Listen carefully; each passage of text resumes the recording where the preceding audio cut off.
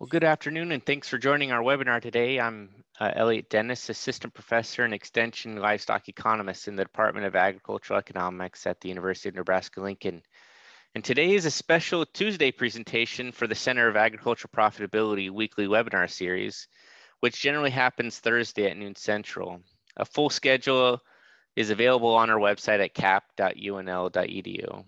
And it's important to note that this webinar is the first part of a two-part series on the state and future opportunities for meat, meat processing with a particular focus on Nebraska today.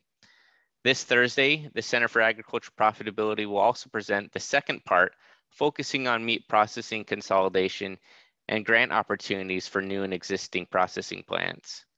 Today, we'll be looking at the types of meat processing plants and their locations to discuss the financial concerns associated with starting a new meat processing plant, as well as address some legal issues that should be considered when deciding on either a custom exempt or federally inspected plant.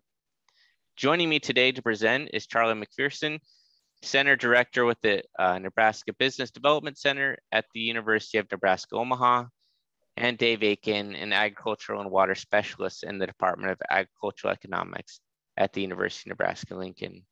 I'll go ahead and start us off today by discussing the types of meat processing plants and their locations, and then we'll pass it off to Charlie. We'll discuss the financial concerns associated with starting meat processing plants, and then Dave will wrap us up today uh, to discuss some legal issues uh, associated with uh, custom exempt and federally inspected plants. We do encourage questions if you do have questions during the webinar, please put those in the Q&A box or the chat and we'll answer those at the end.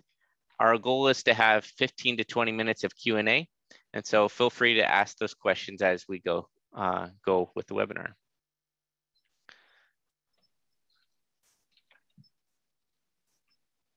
I will go ahead and begin.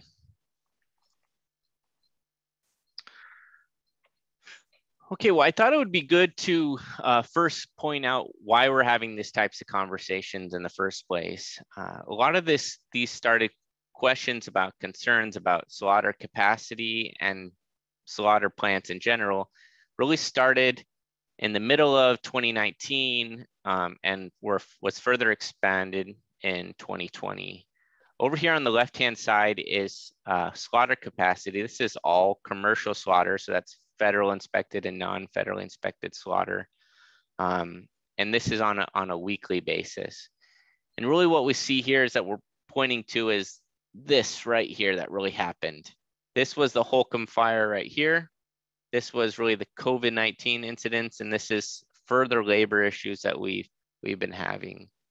And so the reason why this is a particular concern for people who, let's say, have uh, harvest ready cattle is that those animals are on feed um, and they're ready to go to harvest right now, but we don't have available space.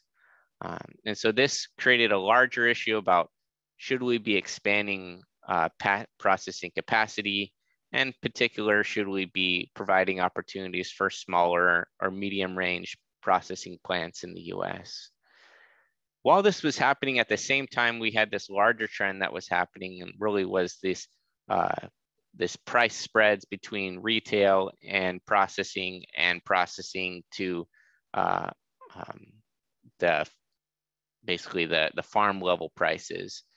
So what I have displayed over here on the right hand side is uh, those price series specifically for cattle that's uh, been widely talked about over the last six months. On the left hand side, this is for uh, the wholesale and farm level prices. And on the right hand side, or the right axis is the retail price.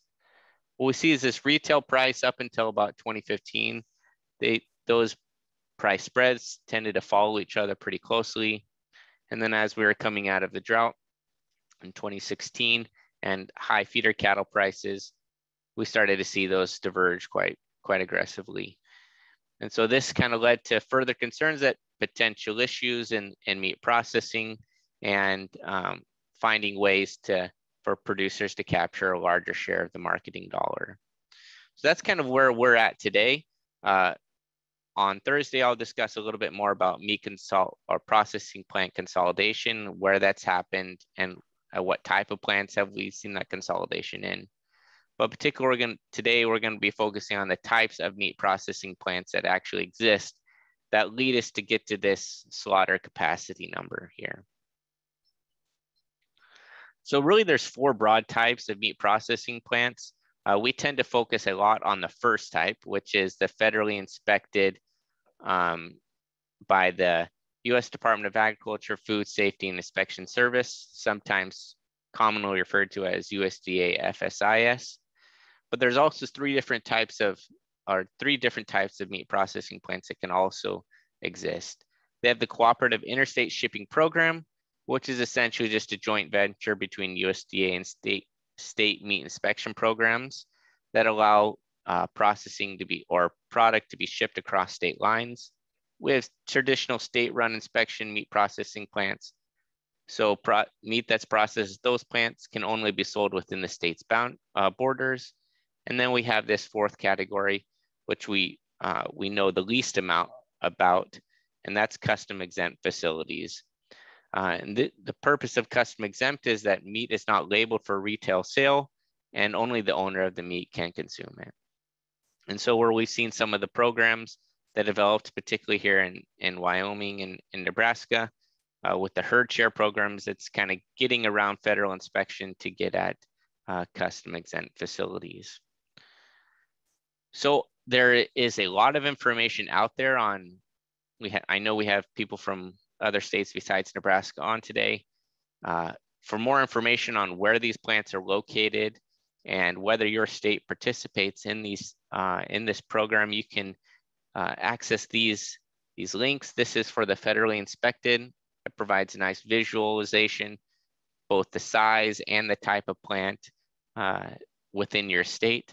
This is whether your state actually participates in the cooperative interstate shipping program also same here, whether your state actually has state inspected uh, facilities.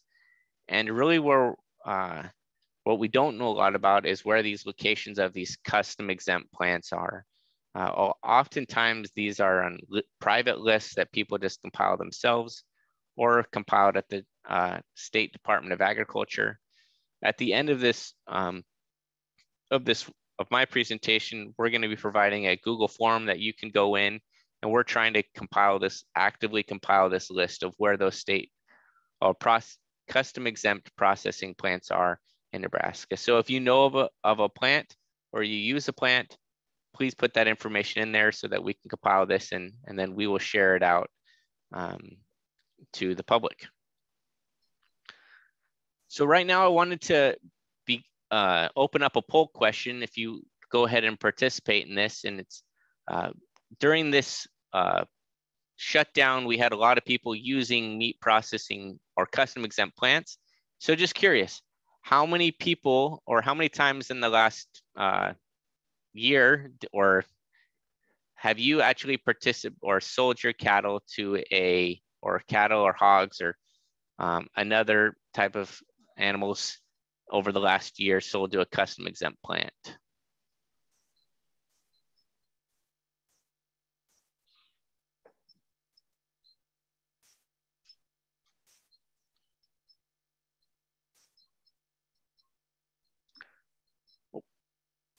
Ryan, I think we need the other question up.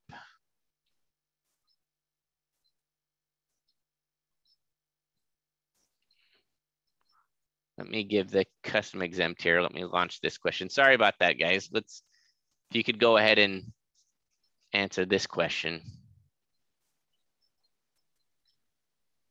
How many times in the last two years have you used a custom exempt plant to harvest animals?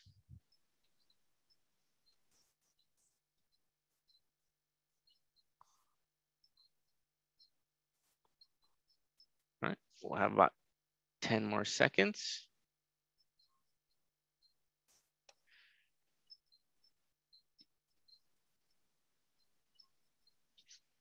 All right. Go ahead and end this poll. We'll go ahead and share these results here.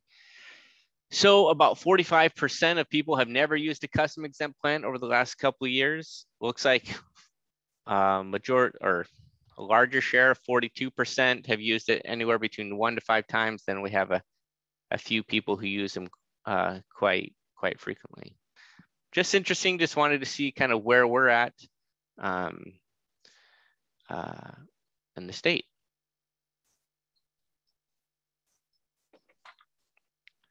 So this is why we tend to focus on federally inspected processing plants. I, I could put this up for different types of commodities. I'm specifically going to be focusing on calf and cattle and calf slaughter today. And what I did is basically calculated the share of total production uh, for federally for animals that went through federally inspected plants versus those that went through um, other types of plants. And so what we can actually see is really since the you know 1990s, about 97 to 98 percent of all cattle and calf harvested in the US were processed at federally inspected plants. And so while we may focus on state inspected plants or um, custom exempt plants, most of the meat processing that will happen in the US, in this case for, for cattle, is gonna be done at federally inspected plants. And so the question, the second question that we have is, um, how many federally inspected plants in Nebraska, regardless of the size, do we have? Um, if we can launch the second question. What, what do we think? 47, 66 plants, 91 plants, 113, 154.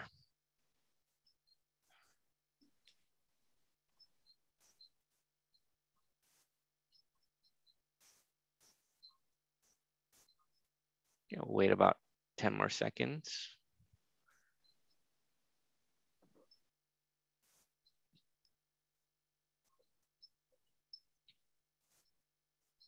Okay, so this is what we had. Uh, most people said about 47, about 55% of people said that there was 47 federally inspected plants. A little bit um, fewer as we go down. So in Nebraska, we actually have 113 federally inspected plants. And this is uh, a table that really shows within Nebraska and across the different states, how many federally inspected plants that, uh, that are available. This is from USDA FSIS database. I went ahead to compile this.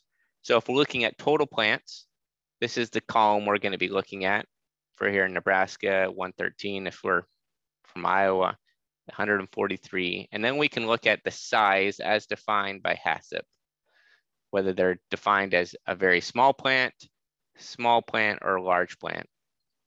So in Nebraska, way to read this is there are 35 federally inspected plants that are, that are categorized as very small, 50 that are categorized as uh, small, and large that are categorized, or 15 that are categorized as large. So that's how we read this size column over here.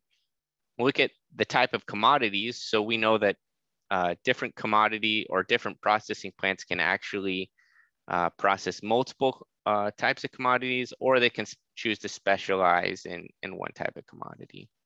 So that's what this right-hand column is over here. If we go down to Nebraska, there are about 30 federal inspected plants across all these different sizes that process beef.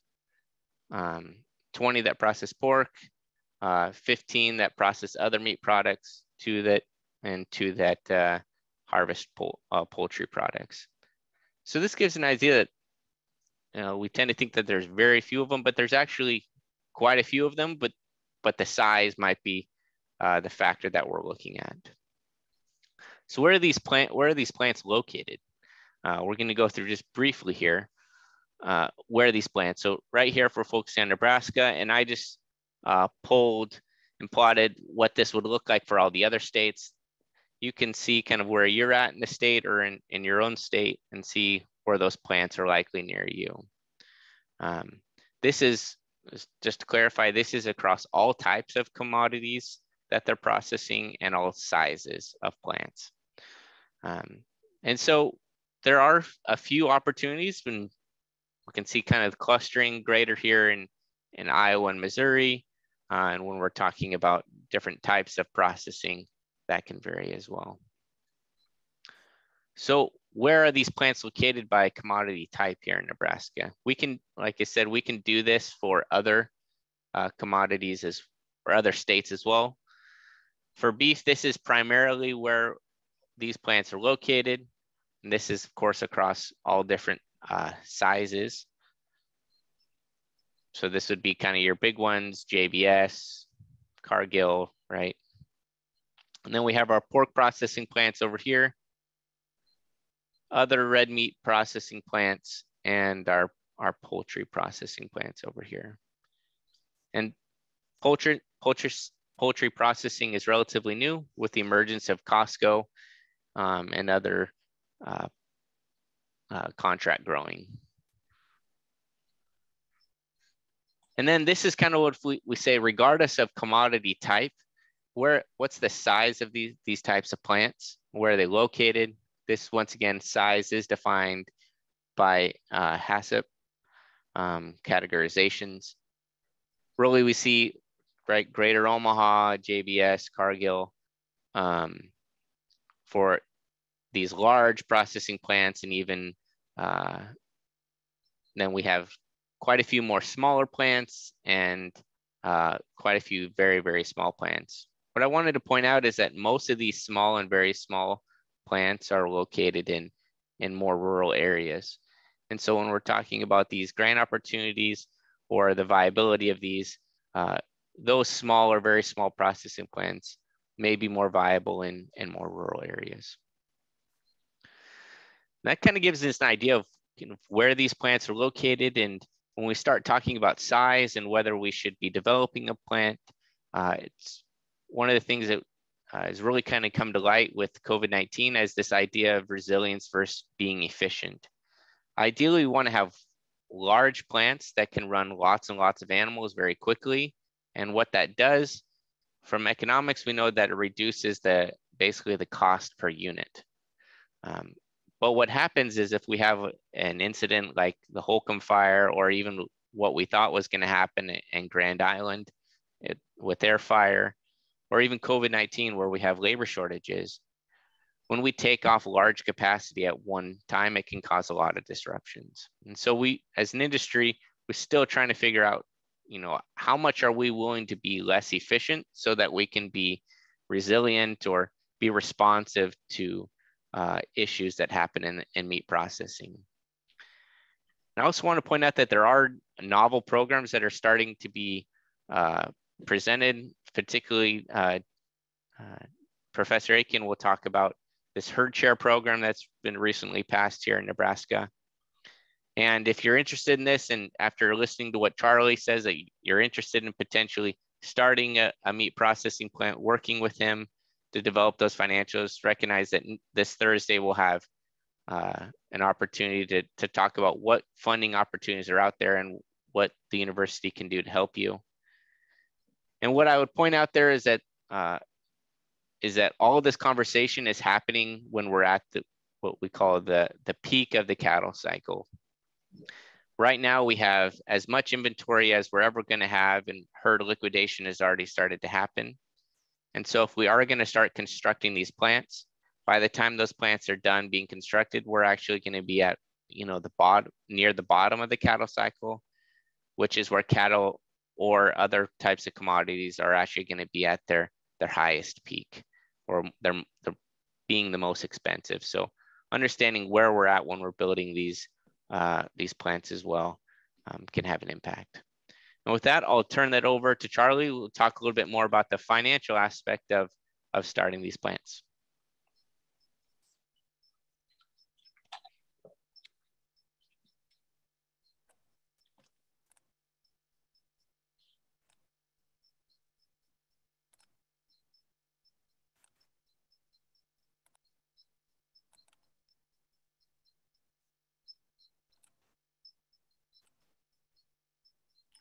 Well, good afternoon. Thanks for having me. Uh, I am Charlie McPherson. I am the Center Director for North Platte and McCook for the Nebraska Business Development Center. Um, predominantly, what I do is provide one on one consulting to uh, individuals uh, for in all facets of business, everything from startup to expansion, uh, purchasing a business, all the way to exiting. Uh, we also assist with everything from developing business plans to financial financial projections to market research, operations and management, and the list kind of goes on and on from there. Um, so one of the major things when when getting into a type of project or venture of this sort, uh, the the financial aspect is is very big. But I just briefly want to kind of go over the uh, research and planning aspect um, of any new operation. It's critical. It's a cr- crucial stage to the development and startup process. A well researched and written business plan lays out the operation on paper before any money is spent. It allows you to put thought and effort and time and conduct everything methodically before it goes into that part. It also allows individuals to identify potential problems, challenges, risks uh, involved, um, be strategic with their thought processes, and set goals, uh, both short term and long term, uh, of the operation. Uh, the business plan also allows uh, individuals to get realistic and look at their numbers and projections for the entire project. Uh, some financial considerations. It takes uh, significant infrastructure to run this type of operation. Uh, you need significant steady volume to help support it. Uh, producers need to find processors to find good processors and reward them with business so they continue to invest in their infrastructure as well, not just in buildings and equipment, but it also takes highly skilled employees um, to keep delivering excellent, excellent quality products. Uh, the processing business is complex and high risk, oftentimes with uh, thinner profit margins. Uh, a, a, simple new facility often costs uh, around a million dollars or more, looking at roughly around three to four hundred dollars a square foot on average uh, in that development for a new building, new, new project. Uh, in order to justify it, it's uh, a, a, processor and financial backers must be confident uh, that it will pre be profitable. In order to do this, you must have uh, significant and sustained demand for processing services or essentially enough farmers and ranchers who commit to bringing uh, enough livestock in con consistently throughout the year, paying what the processor actually costs. Productivity, revenue, and services offered are all interconnected. The more productivity, the more revenue. The more revenue, the more services a processor can provide and add additional services as well. So this is just a quick snapshot of three examples uh, that are based on real processors. Um, I did see somebody come up with a question that said, what is the difference between them? Uh, this kind of gives you a quick snapshot look at the difference between a very small custom exempt, uh, a small inspected and regional inspected type facilities. I'm not going to go through every one of these, but you can see the difference uh, on the size of the facilities, uh, what they offer, uh, what they don't offer, all the way up to uh, the amount of employees that's often involved in, in these types of facilities.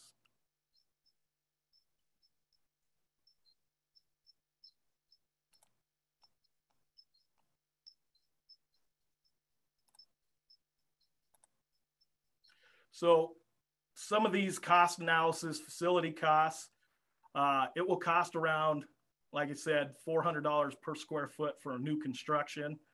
The price usually includes permits, site prep, utility, uh, property, building, refrigeration, and other costs for uh, a smaller 20 head per week plant.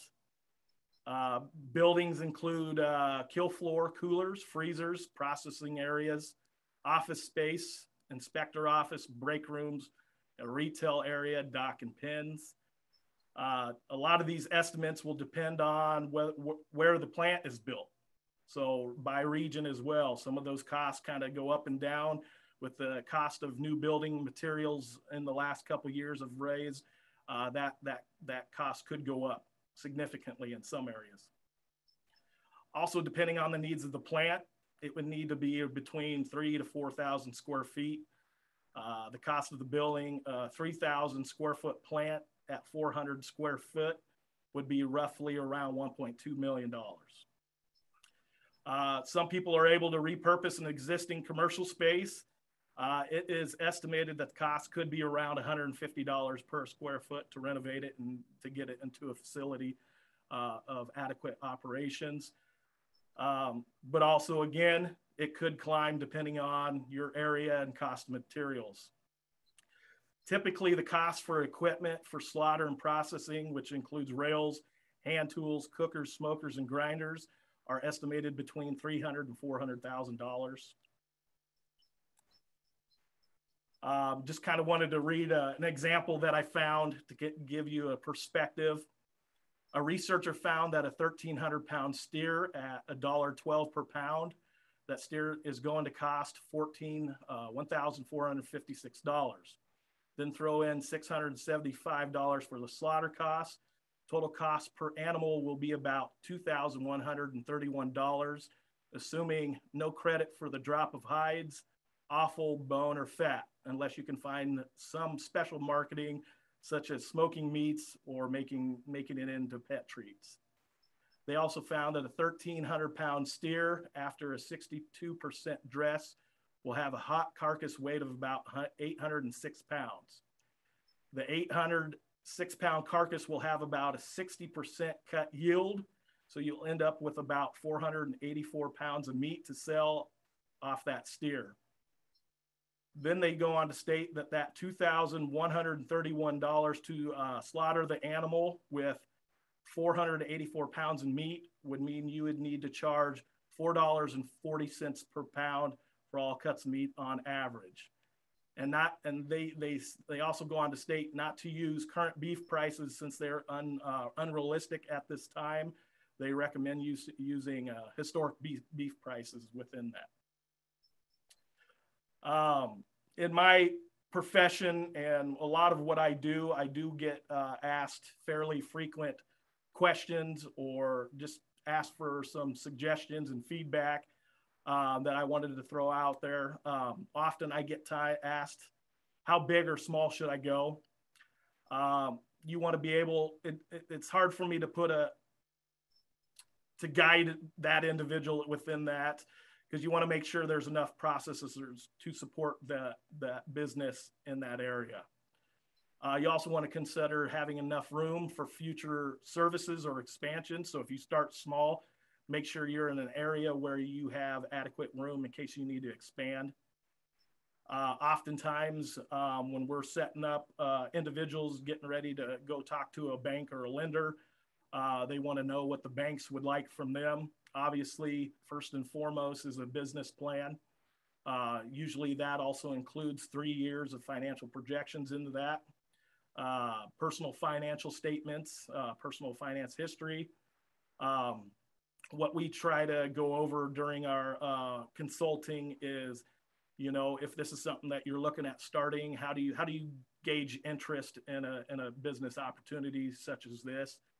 Um, oftentimes we discuss letter commitments or customer commitments. If you have know of a large group of producers in the area that you can go out and talk to if they're willing to put something on paper just to help your cause. Usually that goes over well with the banks as well. Uh, experience also comes into effect and so on from there. Uh, another thing that banks uh, like to look at is regardless of the demand and opportunity for a local meat processor, banks rarely finance 100% of the project, which means they will do typically a uh, 70 to 80% loan to value uh, on the project they also want to see an investment or skin in the game, as they put it, on your part. They also take into consideration the applicant's credit worthiness. So, credit score, some of those things also come into effect there.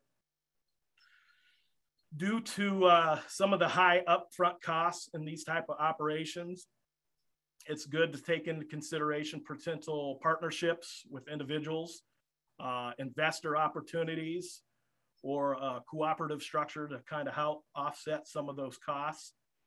Um, some financial opportunities or funding opportunities. Obviously, we have our local banks in our areas and community uh, initiative programs such as LB 840s, uh, the TIF or ta tax increment financing. Um, oftentimes, some areas have uh, initiatives for their industrial parks. They're trying to get up and get going and expand on some of those if they're available. Um, Nebraska economic development um, programs, when they're available, USDA loan and grant programs. Currently, uh, they just announced the USDA is launching a $100 million initiative to create more and better market opportunities to and strengthen America's food supply chain. Um, and they are looking to expand in the meat and poultry, uh, poultry processing capacity in the United States. Um, other financial programs include uh, Rural Economic Development Loans and Grants, also known as Red Leg. Red Leg. Uh, this is typically applied through local electric or telephone cooperatives, um, the SBA loan programs as well. So again, I want to I want to thank you for your time. Um, if you want inf- more information or exactly what you do, you can contact me personally. My contact information's there on the screen. Otherwise, if you look at the map in the lower right hand corner, we do have offices throughout the entire state, and you can meet with and uh, talk with any of our consultants. They'd be more than help, happy to help you with whatever you need. So I am going to pass it on to Dave and let him take it from there.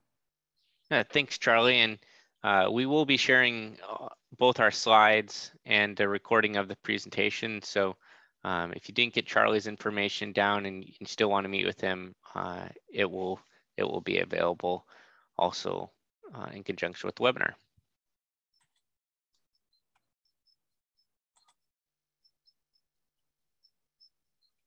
Okay, I'm Dave Aiken, Ag Law Specialist here at the University of Nebraska. And Elliott asked me to give a little talk about some of the regulatory aspects of this. And so this is sort of like a, a 5,000 foot view, but we'll go ahead. Um, this all started back with a very famous novel uh, in American history, uh, The Jungle by Upton Sinclair. And it, uh, you know, laid out the very unsanitary conditions that then existed in the U.S. meatpacking industry, where everything was thrown in, you know, dead rats, you know, whatever they swept off the floor, you know, the occasional worker, all of this, you know, it was, it was pretty gruesome stuff. So Congress, uh, well, President Roosevelt set up a commission to go in and make sure that things were really as bad as Upton Sinclair said they were. And the commission came back and said, you know, they're as bad or maybe even worse. So Roosevelt went to Congress and and they passed the Meat, Meat Inspection Act. And the purpose of the act was to improve the sanitary conditions of meat slaughter and processing and food safety is still the main focus uh, of the Meat Inspection Act, and it's administered by the USDA uh, Food Safety and Inspection Service, or FSIS. Uh, Elliott also briefly introduced us uh, to them, but they are the ones who do the meat inspecting. Okay, um, federal inspections, and, and Elliott did a great job in terms of laying out what the kind of share of the different size facilities we had in Nebraska. I had no idea we had so many so many of the small ones uh, or the the medium sized ones, but the federally ins- inspected ones are tend to be the larger processors. Uh, state inspection. Uh, if the state undertakes that program, uh, it does. You know, they they can take over from the federal the uh, FSIS, but they have to meet all the federal requirements, and they foot and the state foots the bill. Uh, USDA pays the uh, federal inspectors, and I'll get to that on the next slide. But it basically pays for their basic work week, uh, and anything above that is on the uh, processor. Uh, but we do not have state inspection in Nebraska. A wave of states uh, stopped, ended their inspection programs when um, changes to the Meat Inspection Act came in, uh, and you know, with the federal incentive that says we'll pay for the the the inspectors, a lot of states says, great, you pay for it. We don't want to. We'll use that money for something else. And I believe it was 1971 uh, when Nebraska ended its state inspection program. And when we had the hearings on the uh, uh, on the herd uh, share bill uh, in the legislature and some uh, related proposals, uh, our state Department of Agriculture says we don't support setting up a state inspection program in Nebraska because we would have to pay for it and we would have to do everything that the that the uh, USDA already does. And and you know we don't it would be expensive uh, as far as the state was concerned and they they they did not come out in favor of it.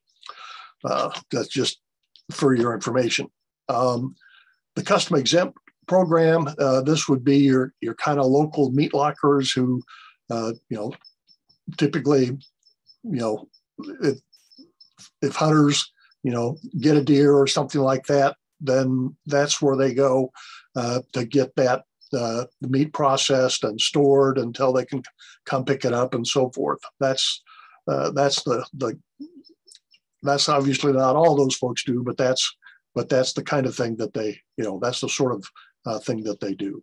So they are on they are on the small end, uh, and I was rather surprised by uh, the previous presentation uh, where it was, you know, the 20 head per week for a relatively small facility. You know that that was a million dollars or more in terms of in terms of uh, construction and and you know so it's it's pretty expensive to get into even even at a relatively small level. Okay then another usda category is what is called retail exempt.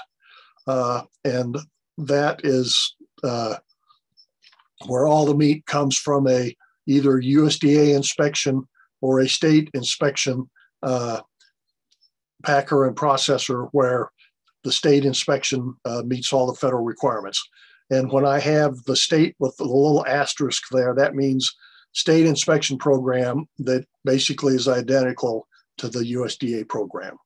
So it's not that if you get the state inspection that you have a, you know, that they won't inspect them as well or as completely or something like that. You don't, you don't get a break on, you don't get a break on the inspection standards uh, by going to a state inspection program.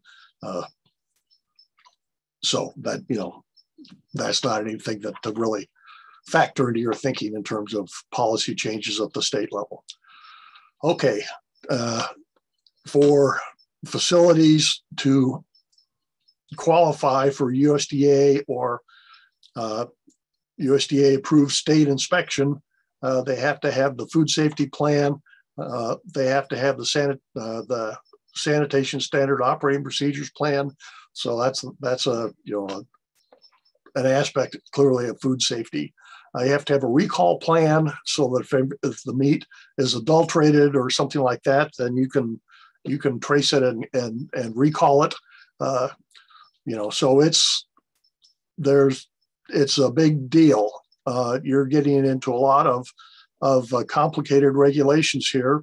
Uh, you'll have to have, uh, you know, basically your food safety consultants to help you design uh, your facility uh, so that you'll have the appropriate uh, HACCP plan and the SSOP plan, um, you know, and and and that. So it's not a uh, it's not a do-it-yourself type of deal. It's it's uh, you know we're talking about expensive complicated facilities um, that you know you're going to need professional assistance with developing you know uh, from top to bottom. Uh, in addition, as far as the USDA or USDA state approved inspection programs uh, for a you know for a processing facility, uh, you have daily uh, inspection of those facilities, and for red meat, you have daily inspection of each animal before and after slaughter. So this is all required under the Federal uh, Meat Inspection Act. Okay, uh, the meat products, if they're from a uh, USDA facility, uh, you know, they can go, you know, across state lines and um, internationally, uh, you know, to many countries.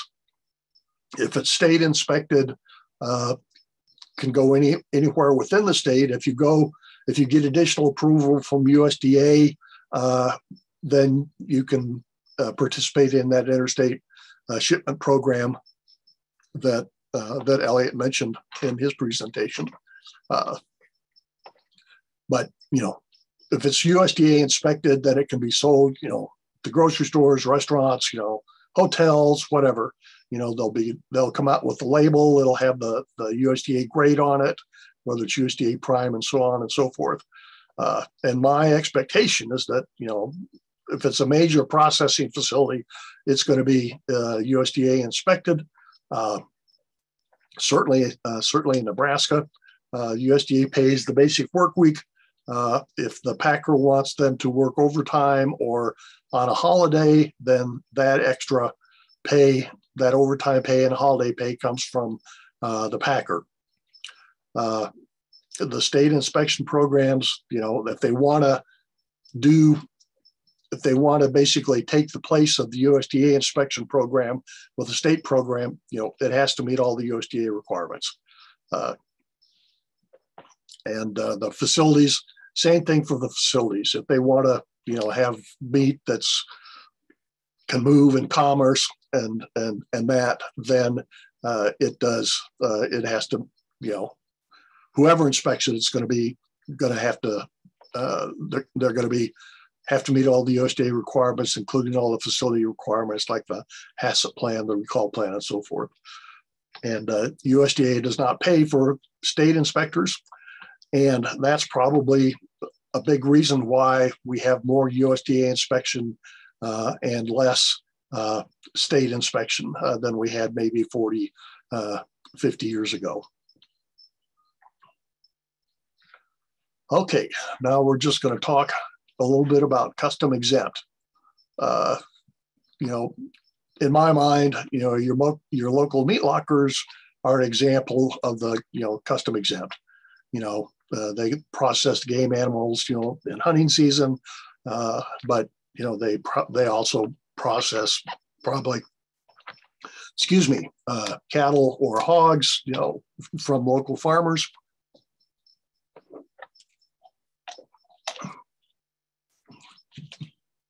and they you know they're they can do some stuff like the the smoked meats and stuff like that but uh and, and i'm i'm not the expert on this elliott probably knows more about it than i do so uh he'll have to handle those questions but legally the custom exempt can only slaughter and process livestock for the exclusive use of the livestock owners their household their non-paying guests or their employees. Uh, they cannot, uh, and these and those meat products cannot be sold in commerce. You know, they're they're wrapped in, in butcher paper and and that, and you know they don't have labels on them. Uh, you know, and and and that, and those facilities are subject to periodic inspections by USDA or uh, local authorities to make sure that their sanitation is up to snuff and so forth. Okay, the custom exempt, uh, typically the way it has uh, traditionally worked is that uh, producers may sell uh, uh, portions of, an, of a live animal, uh, for example, half a steer, excuse me, a quarter of a steer or a half of a hog for something like that to several consumers who, while the animal is still alive, and uh, uh, and you know when when the entire animal is sold, then the buyers become co-owners of the animal. Uh, the uh, livestock seller uh, can then, you know, arrange for the uh, animal that has been sold to the uh, slaughter and processing facility, and then uh, then each owner or co-owner of the animal is responsible for choosing how their portion should be processed, and then they also have to pay for their share of the animal and then pay the processing uh, facility for the for the feed. But that's kind of how uh, the custom exempt uh, uh, process works on the uh, animal share model, and that is legal. I mean, there's I don't think there's USDA has any uh, issues or concerns about that.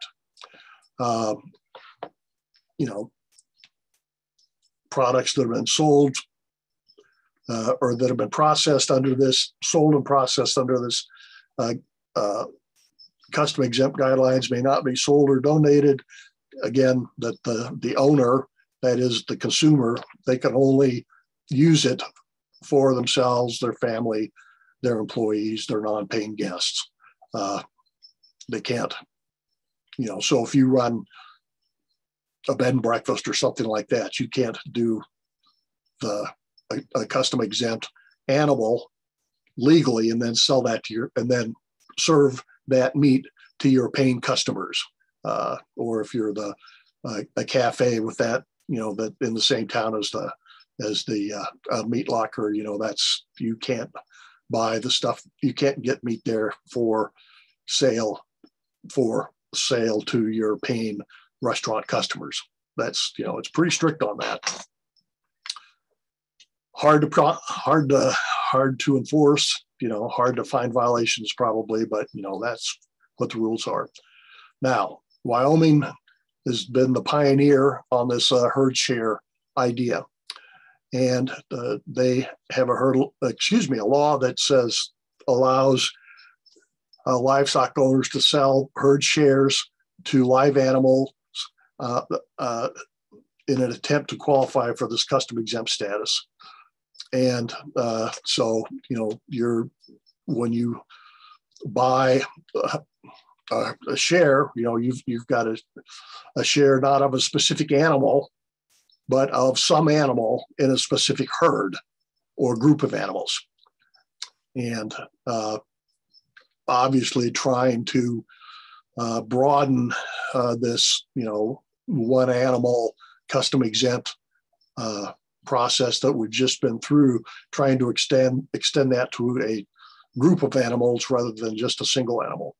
Uh, right now, uh, this is a, according to an ag media article that I found on Google or using Google. Uh, the Food Safety Inspection Service is working with Wyoming officials to decide whether this herd share program uh, is legal under the Meat Inspection Act or not. And uh, we'll kind of have to wait and see on that. Uh, presumably, uh, if FSIS signs off on it or wants some changes or something like that, we'll just kind of have to wait and see how that plays out and what they come up with.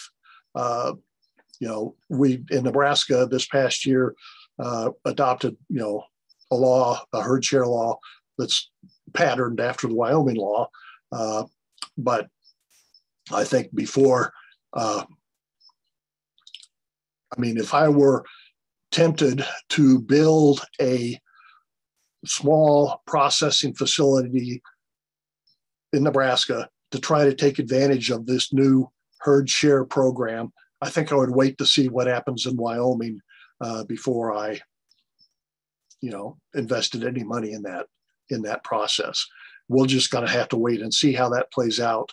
And and uh, you know, I don't have any timeline or anything like that in terms of uh, when the USDA uh, evaluation of the herd share program in Wyoming, uh, when that all is going to play out. So I guess we'll we'll just kind of have to be in a wait and see mode on that.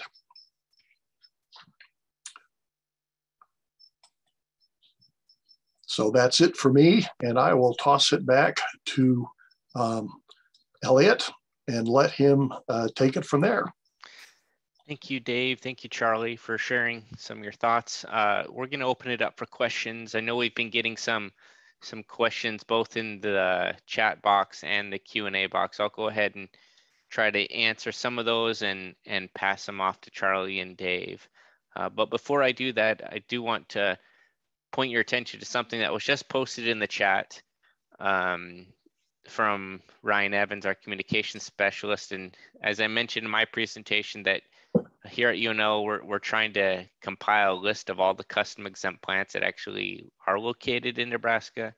To do so, we've compiled a, um, a Google form that you can go to and click and provide the information uh, that uh, if you know of a custom exempt plant, and this is kind of a, the first step of a larger effort to try to compile that um, so that we can provide information. Let's say you're um, in Ogallala and you're trying to find different custom exempt plants to go to, um, and you can uh, go to a list like this and, and find that plant.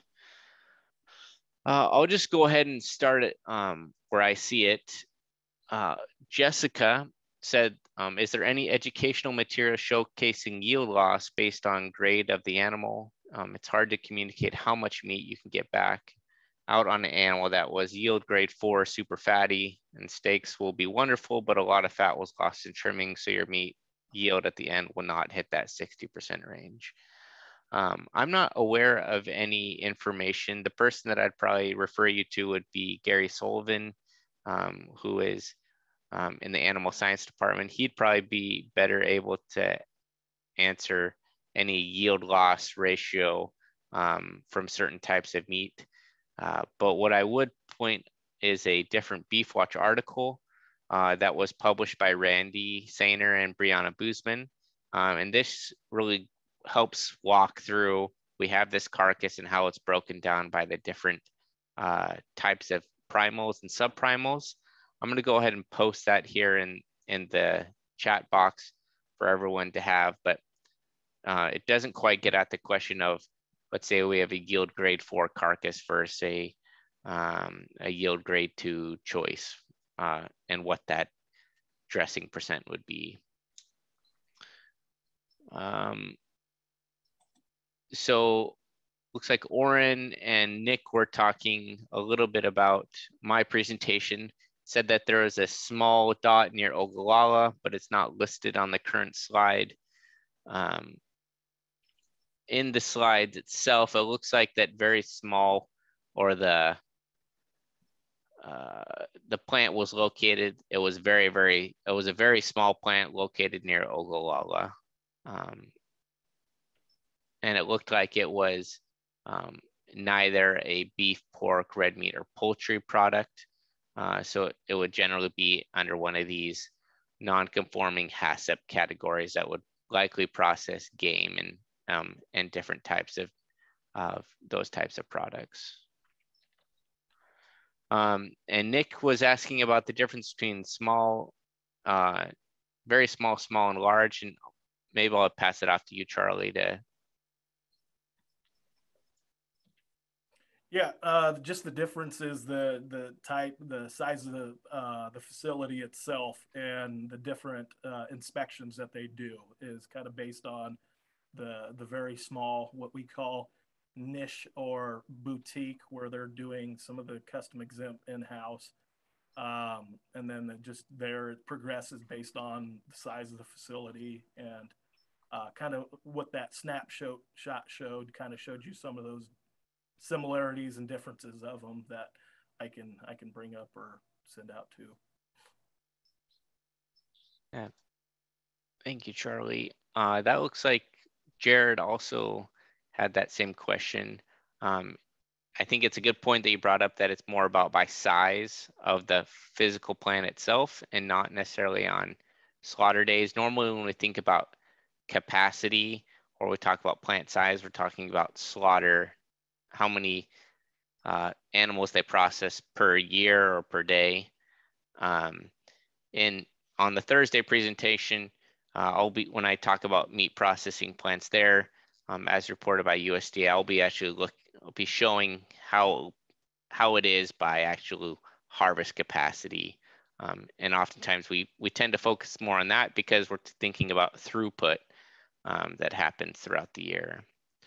Um, so uh, Catherine asked, um, do the numbers and uh, numbers and plant numbers include both slaughter and strictly fabrication plants? The answer that is yes, they included both uh, fabrication and slaughter uh, harvest plants as well.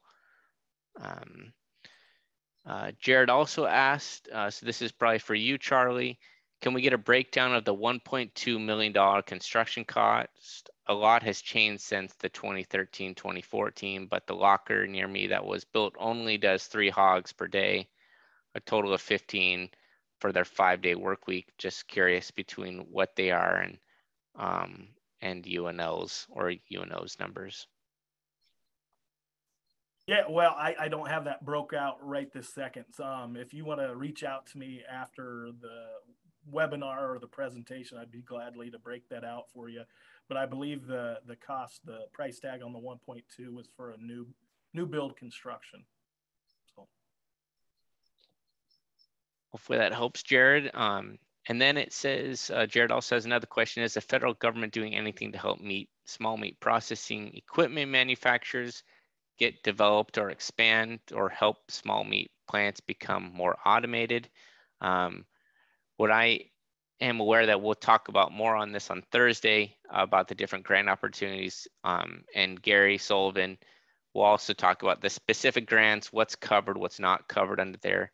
So perhaps Jared, I'd I'd refer you to to that webinar. Although what uh, what I think um, some of those grants are is that there are plans to help people actually become more automated and develop those. There is ear ear tag for that, but confirm that with Gary on our on our webinar on Thursday.